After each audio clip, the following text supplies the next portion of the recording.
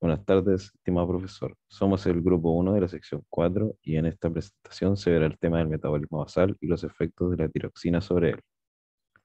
Antes que todo es necesario retroceder un poco y entender qué es el sistema endocrino y su función en el organismo. El sistema endocrino corresponde al conjunto de glándulas que liberan hormonas al torrente sanguíneo para enviarlas al resto del cuerpo. Es de acción lenta y prolongada y puede afectar tanto a las mismas glándulas que lo componen como a otros órganos blancos. Las hormonas que se liberan actúan como mensajeros químicos, desencadenando o inhibiendo procesos en el organismo dependiendo de lo que sea necesario para mantener el equilibrio homeostático. Para el caso del metabolismo basal, las glándulas relevantes son el hipotálamo, la hipófisis y la tiroides. Estas glándulas generan una cascada de hormonas donde al inicio del hipotálamo libera hormona liberadora de tirotropina, la que es recibida por la adenohipófisis para liberar tirotropina, la cual viaja hasta la tiroides para estimular la liberación de hormonas T3 y T4. La concentración de estas últimas en la sangre determina la liberación de TRH en el hipotálamo concentraciones bajas funcionan como una retroalimentación positiva y viceversa. Ahora, la tiroides es una glándula ubicada en la región anterior del cuello, cuya función general consiste en la regulación del metabolismo corporal y uso de energía. Estas funciones son llevadas a cabo por sus hormonas bioactivas T3 y T4, la última teniendo el rol más importante para dichas funciones. Determinación del metabolismo basal.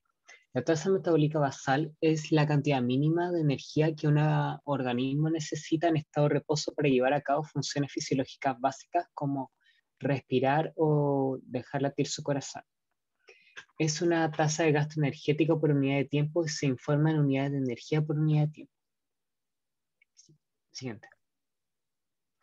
En la experimentación lo que tuvimos que hacer fue eh, pesar a cada uno de los ratones y llevarlo a un sistema aislado del oxígeno exterior eh, para medir su metabolismo basal. Siguiente.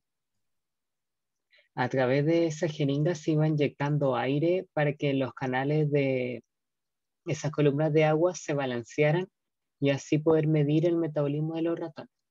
Siguiente. En esta tabla se puede observar cuáles fueron los resultados de los metabolismos basales donde el ratón normal tuvo un metabolismo basal mayor al de los otros dos ratones. Siguiente. Este se puede explicar debido a que el ratón normal eh, tenía todo su órgano intacto y estaba sano, mientras que los otros dos ratones estaban deficientes de la glándula de la tiroides y la hipófisis que son eh, glándulas que actúan sobre el mecanismo del metabolismo basal. Sí. Determinando el efecto de la tiroxina sobre el metabolismo basal. Bueno, para esta segunda parte se utilizaron las mismas tres ratas iniciales y a cada una se le administró una inyección de tiroxina. Luego se realizaron los mismos pasos del experimento anterior, evaluando el metabolismo basal en base al oxígeno utilizado por las ratas, es decir, por esta columna de agua, eh, se supo el volumen de oxígeno utilizado al igualarla, como se ve en la diapositiva siguiente. Bueno, siguiente. Para entender los resultados obtenidos, debemos conocer esta hormona administrada y su metabolismo.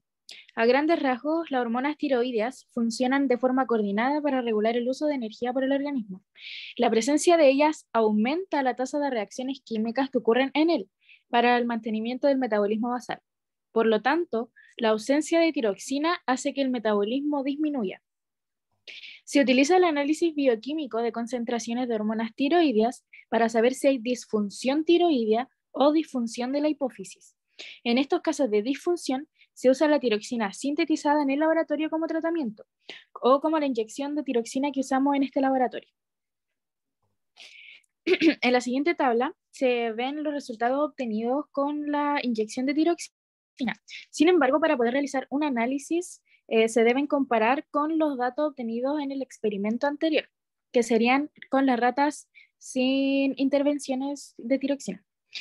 En esta tabla se puede confirmar lo que nos plantea la, la literatura, que es que al aumentar la concentración de tiroxina, en este caso se aumentó con la inyección de tiroxina, el metabolismo de la rata normal aumentó porque aumenta la tasa de reacciones químicas que ocurren, por lo tanto el ratón debe utilizar más volumen de oxígeno.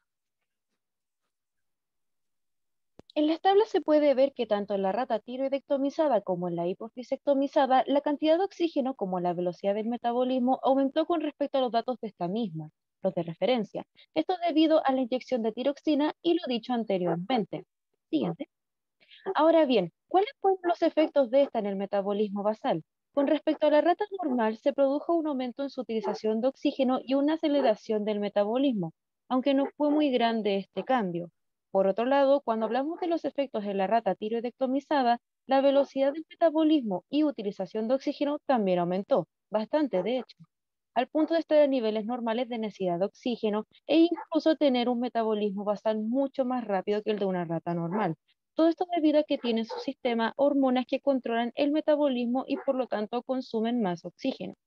Por último, en la rata hipofisectomizada también se vio una cantidad de oxígeno similar al de una rata normal, también observado en su metabolismo. Esto a raíz de que debido a que si bien no hay estímulo de THS, hay tiroxina en el organismo, lo cual se encargará de producir TH3 y así lograr regular el organismo. Eso fue todo. Muchas gracias por su tiempo.